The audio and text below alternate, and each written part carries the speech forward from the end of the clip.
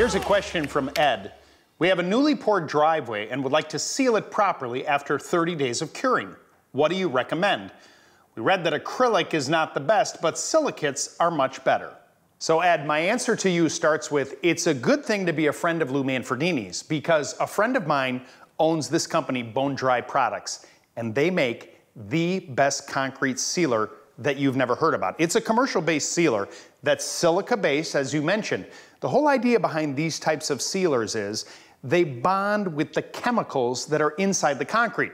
So it essentially turns a porous material into a solid material. And when you apply this, it creates a permanent bond, meaning that that sealer is gonna last for the life of the concrete. So get to your internet and search out bone dry products. Not cheap, but it is so effective.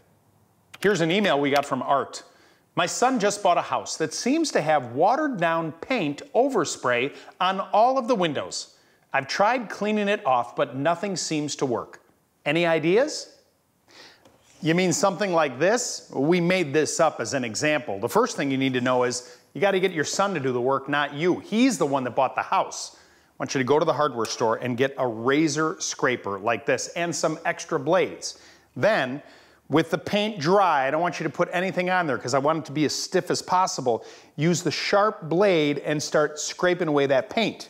Now, if it's been there for a while, this is gonna take a little bit of elbow grease, but you won't scratch the glass, and by using this method, you'll make some pretty quick work of this project. Here's a question from Kathy.